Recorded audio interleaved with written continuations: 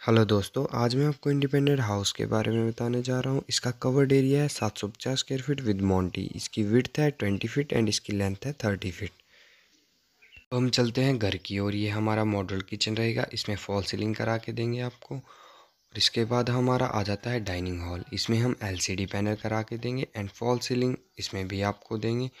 And ये five seater sofa आ जाता है। इसमें आप ये भी लगा सकते हैं।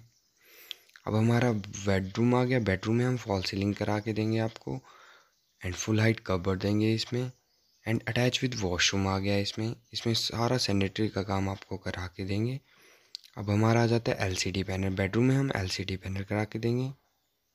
ये हमारा सेकंड बेडरूम रहेगा, इसमें हम फुल हाइट कबर्ड करा के देंगे आपको एंड सामने वाली वॉल पे हम इसमें भी आपको एलसीडी पैनल करा के देंगे एंड अटैच विद वॉशरूम रहेगा। इसमें हम फुल पे सैनिटरी वर्क करा के देंगे आपको।